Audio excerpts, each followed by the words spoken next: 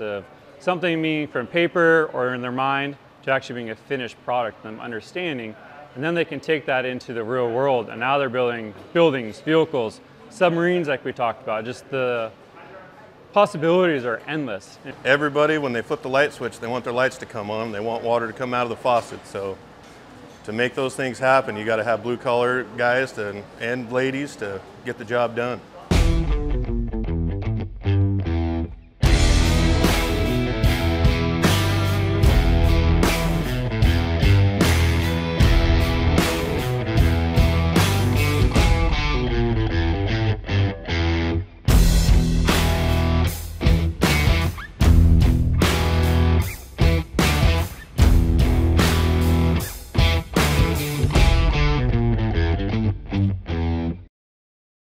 A couple months ago, I got an email